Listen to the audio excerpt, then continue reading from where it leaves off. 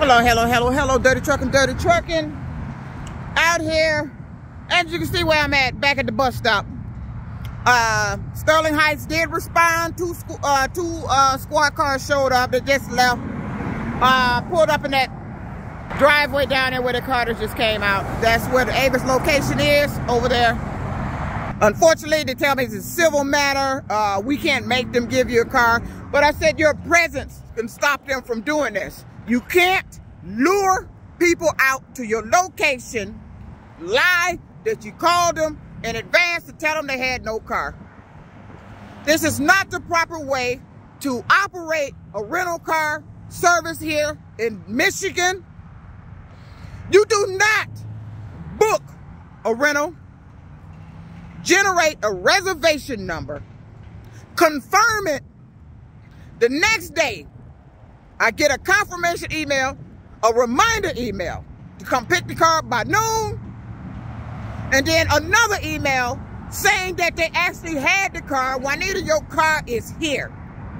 And get all the way here for that lady to come out the back to tell me she tried to call me, said they had no car for Uber drivers. Now, there.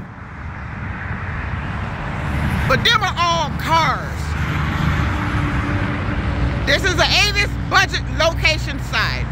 But them are all cars.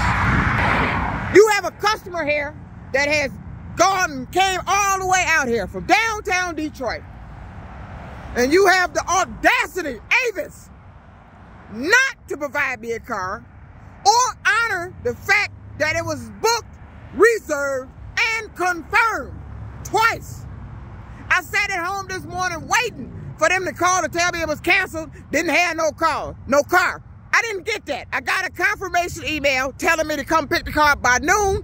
Then after that email, I got another email saying, Juanita, your car is here. Now I'm here and there is no damn car. So I thank Sterling Heights Police for showing up and responding. Uh, it's not a crime, but their presence is letting them know the severity of what the hell you're doing. The officer went in there and talked with the young lady because now if you lie to that officer that you had no car for me, your ass has committed a crime then because you lied to an officer. That's the officer comes back out, says they have no cars. I told his partner, who took down my information, I let him see the emails saying it was confirmed.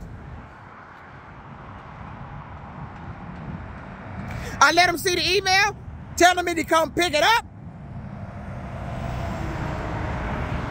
Only thing I didn't get to let him see was my call log. To let them see that there was no incoming call from this place like this woman said. There's no voicemail on my phone. This place was doing nothing but playing games. This whole operation is ran by uh, foreign individuals when you call to get a rental car. Every time I call, it's nothing but foreign individuals on the phone. All of them. This program doesn't work. It's a scam. It's a farce. And I'm sick of it.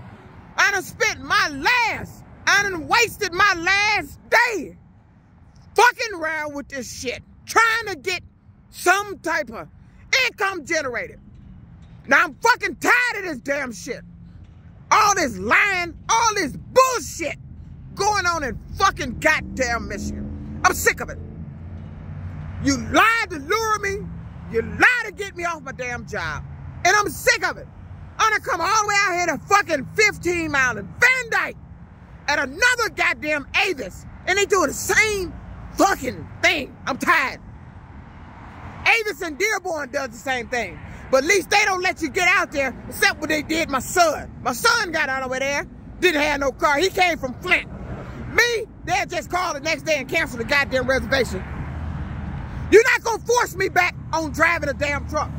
I'm gonna sit home until my rent run out And I'm not gonna work for you or anybody. I'm tired of working for you. I'm tired of working for people in trucking trying to tell me what the fuck to do, where to go, where to be, how to act, what equipment to drive. I'm tired. I don't want to drive trucks no more. I want out this state. I want out this fucking state. I'm tired of it. Just too much nonsense going on. Right up under your fucking nose, and you're not doing nothing about it. You got people coming out here. I came to work. Uber, Lyft. Who is all these foreign individuals that's answering? And it's not resolving the goddamn problem. Had one foreign guy telling me no. Fuck your no. Don't tell me no. You not gonna what? Transfer me to a supervisor? No. Well, get the fuck off my phone. Stop answering the phone. Because I'm sick of it. Call Uber. Call Lyft. Apply to them if you don't believe me. Try to get a rental car. See who answers the phone. Nothing but foreign individuals. And it's been nothing but a fucking game. Nothing but a fucking problem. Nothing but a goddamn aggravation. And I'm tired of it.